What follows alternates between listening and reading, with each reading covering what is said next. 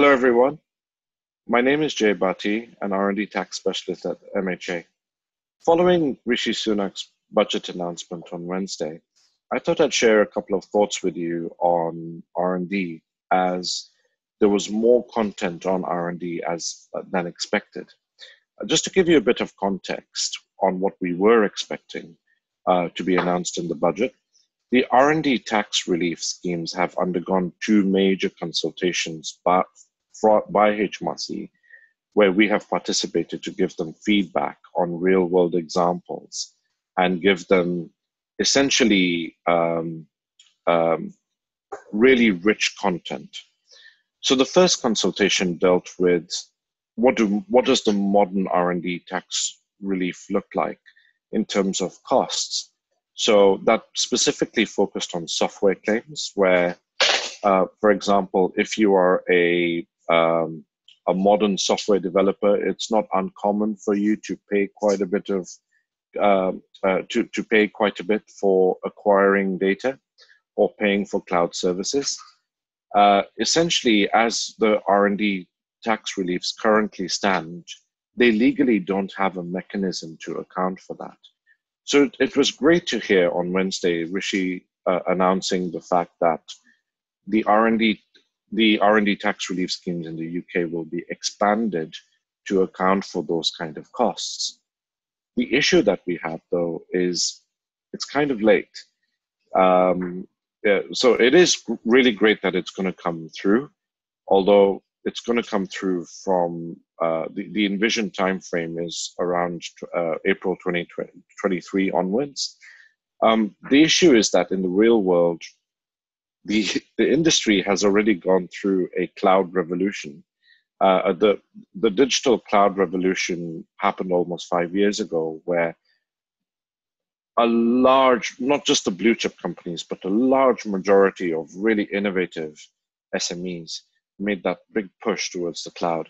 And since then, there have been two, I would say two or three other really big uh, technological waves where different technologies have been developed using the cloud. And it would have been really useful for the schemes to have been expanded sooner because those companies would have been able to take advantage of claiming for that kind of um, uh, cost. Um, given that it's coming through in 2023, I would imagine that maybe some companies that have really substantial data costs, they would maintain that uh, or, or, maybe might delay some costs until then, but who knows? It's a trade off. Uh, so that's the most certain aspect of the announcement from Wednesday. The less certain, or uh, rather open ended announcement was uh, the potential for the R&D schemes in the UK being limited um, for um, companies being able to claim for R&D being conducted abroad. Um, my colleagues and I looked deeper into this, and essentially the Treasury cites the French Australian schemes or Canadian schemes as an example, where basically um, only the national level uh, costs can be claimed and the international elements cannot be claimed. Um, personally, I feel that it it it contradicts with the with the goals of the government. You know, the the government have a couple of slogans or phrases um, flying around at the moment. One of them being a global Britain. Secondly, being that we should be a knowledge-based economy and thirdly being that you know we should be a science superpower the issue is that the uk the, the ability for uk entities to claim for international costs make the uk r&d tax relief schemes that much more competitive compared to france and australia. Uh, france and australia stifle their development and we have actually seen companies move their r&d to the uk because of this capability. Um, it's not uncommon for us to encounter SMEs, uh, you know, with reference to, to a knowledge-based economy, it's not uncommon to encounter SMEs that do a lot of development and problem solving in the UK, So a lot of the analysis and thought process happens in the UK. But maybe if they're developing a product or it might even just be software, a lot of that development happens abroad. However, the UK entity is still the one incurring the, tech, the technological and financial risk. Now, interestingly enough, um, we sit on the board of uh, the RDCC, which is the R&D Consultative Committee. It's a forum where the industry talks to HMRC about the R&D schemes. Um, and right after the budget announcement, we did get an email from uh, them to say, well, don't panic, first of all. Secondly, um, that they will hold a forum very soon to disclose and discuss in detail with us on what that what that limitation of international R&D costs actually might look like, um, or rather what they have in mind. So it's very much in the concept stage at the moment. But um, given the amount of R&D claims that we do in specialist sectors and how much these companies rely on an R&D relief because these companies what an, an r&d relief isn't just giving money back to a company it's creating a virtuous cycle of value.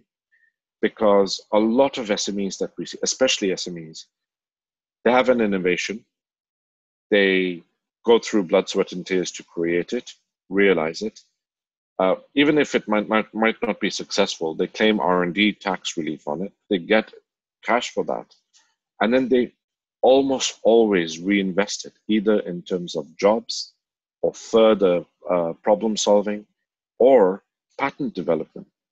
So it's it's the issue is that for us at least, the announcements on limiting the R&D tax relief further contradicts the whole concept of making the making making the UK a R&D superhouse, uh, superpower, basically. Um, and uh, the only thing I would say is we're not panicking. I don't think there's any use in that, but we will definitely very strongly give evidence based feedback to HMRC and the Treasury, showing them um, that it's the further they restrict the R&D tax relief, the more it defeats the purpose. Um, I'm optimistic about the future because history has shown that the only way to the only way to come out of a recession or a massive, massive um, disruption to the economy, like a pandemic, is through innovation. Every time a massive disruption like this happens, human beings are wonderful. We come up with amazing ideas on problem solving and that creates new ways of working. It creates new solutions, and we can innovate our way out of this.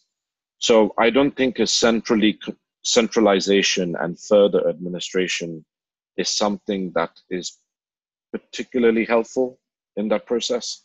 I think trusting people, enabling them, empowering them, and then the role of government is to sit at the back and give them that push for example, to the R&D tax relief scheme, that is what a healthy relationship looks like. Um, but yeah, uh, we will be releasing more information in, uh, in the near future.